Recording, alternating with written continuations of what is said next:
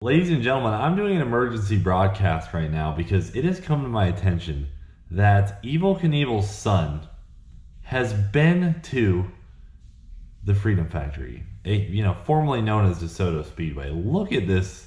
Look at this live action of this man successfully jumping 29 cars. Robbie Knievel jumps 29 cars at DeSoto Speedway.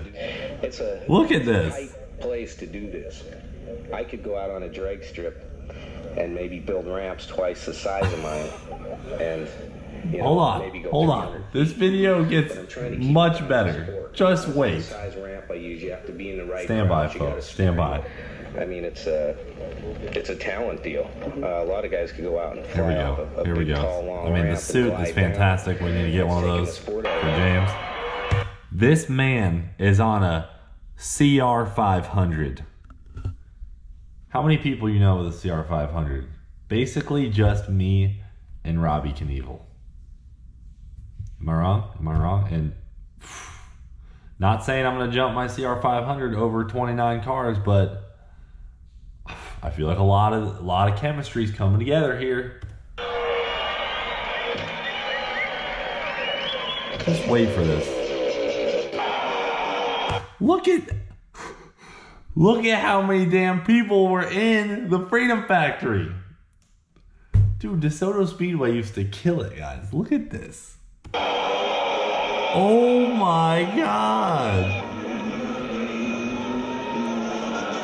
Brother! And then apparently he crashed out of the speedway. what a legend, dude. Hold on, hold on.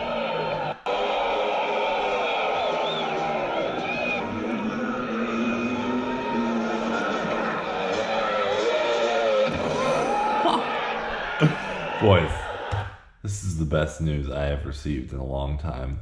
That's it for your emergency broadcast for the night. I just had to get that. Had to get that out to you folks. And sorry it's not like a nicely edited video with the actual video playing.